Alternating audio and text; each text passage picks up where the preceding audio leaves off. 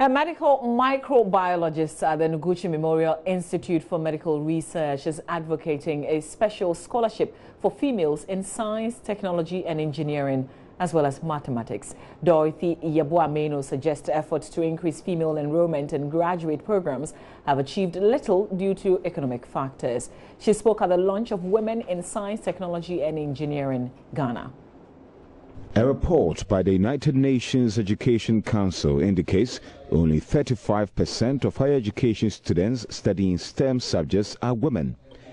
At the corporate level, the numbers suffer more as only 26% of STEM workers are females.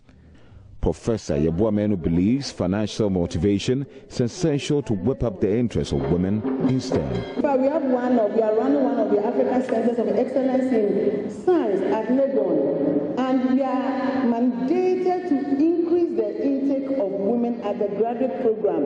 And it may be surprised you that we are trying to get the 50% as women. However, we recruit the girls and they are not able to come because of economic factors. And as a country, we don't seem to have special scholarships for girls.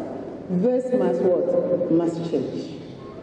So what can Women in Science, Technology, Engineering and Mathematics is dedicating itself to nurturing women and girls to explore science and technology. STEM GH offers programs and services to create a vibrant tool for STEM culture and development. Since its formation earlier this year, it has collaborated with Danida Alumni Ghana to run seminars for targeted groups in basic schools. The STEM camp for girls at KNUST saw 80 SHS girls and 10 tutors from selected schools in attendance. Deputy Minister of Science, Technology and Innovation, Patricia Appiagyei, says the 2030 Agenda for Sustainable Development will require a consistent effort to close the technological gap in the country. Technology and innovation must contribute to all three dimensions of sustainable development, that is, economic, social, and environmental.